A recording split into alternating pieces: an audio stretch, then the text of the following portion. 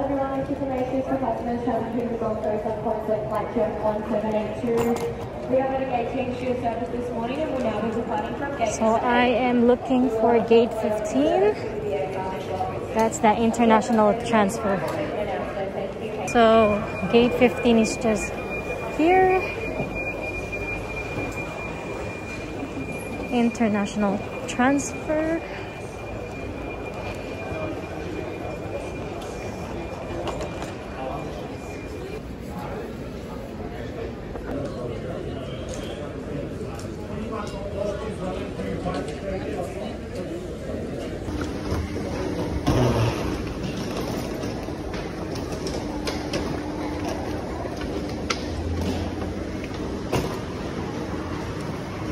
Are now on our way to the bus. So you just have to scan your boarding pass before you enter.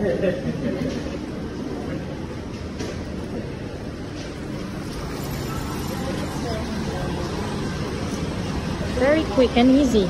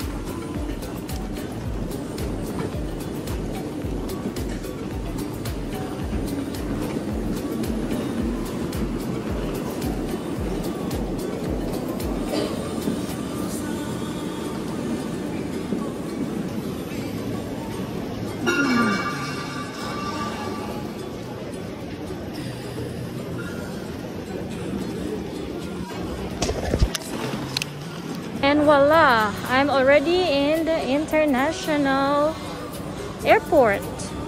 So it's 9.21 now. So it took me 21 minutes from the domestic transfer here in the international. But now I just have to go to my gate, which is gate 30, and I'll just wait for my flight. Flight leaves at 12.30.